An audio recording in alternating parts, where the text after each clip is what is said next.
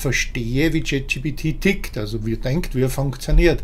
Es ist zwar ein Assistent, aber es ist kein menschlicher Assistent, also du musst ihm schon genau sagen, was du von ihm willst. Dazu nutzen wir Prompts, also Eingaben. Je genauer die sind, umso besser sind natürlich die Ergebnisse, die wir bekommen. Schauen wir uns das an. Also, wir sind jetzt angemeldet. Hier oben siehst du Version 3.5. Die Version 4 geht nur mit Upgrade. Hier kannst du deine Seitenleiste öffnen. Die machen wir jetzt mal zu. So, und jetzt starten wir einfach mal, wie wir üblicherweise starten. Schreibe einen Blogartikel mit 1000 Wörtern zum Thema Hundeerziehung.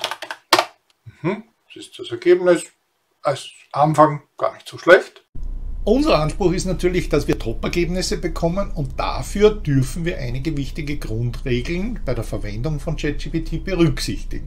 Als erstes natürlich ein klares Ziel definieren. Was möchtest du als Endprodukt erhalten? Wenn wir also in unserem Beispiel einen hochwertigen Artikel für unseren Blog zum Thema Hundeerziehung erhalten wollen, der potenzielle Kunden anspricht, Mehrwert liefert und SEO optimiert ist, um gut gefunden zu werden, dann hätten wir doch schon mal unser erstes Ziel. Dann ist natürlich wichtig die Vorbereitung, also welche Informationen braucht die KI überhaupt? Also in unserem Beispiel Hundeerziehung. Wer sind wir und was machen wir? Also unsere Basisdaten. Wie wollen wir wahrgenommen werden? Zum Beispiel Positionierung als Hundeprofi. Wer ist unser Zielkunde? Also Endverbraucher oder sind es vielleicht Organisationen, Hundeschulen oder wer weiß was? Welche Probleme lösen wir? Gibt es Referenzen, also Testimonials, die wir im Artikel verwenden können oder sollen? Dann müssen wir natürlich einen bestimmten Rahmen vorgeben. Also was darf und soll die KI machen und wie kreativ darf sie dabei sein? Welche Tonalität soll verwendet werden? Sie-Form, Du-Form oder Einzahl, Mehrzahl von Personen?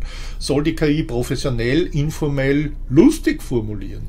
Wenn du ein Beispiel von einem tollen Artikel, egal aus welcher Branche, äh, hast, dann gib es der KI. Verwende auch Negativprompts, wenn du etwas dezidiert ausschließen willst, zum Beispiel, dass Informationen von deinen Mitbewerbern berücksichtigt werden.